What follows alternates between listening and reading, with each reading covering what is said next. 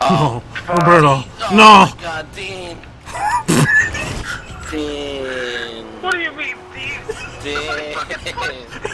I was still recovering. What the Dean. That was your fault! That was Roberto's fault! That was all your fault, Roberto! What are you talking about? Get her over. I knew from the beginning! Dean. Dean. Get out of here, man! Oh, man. It's okay, I'll make up for it.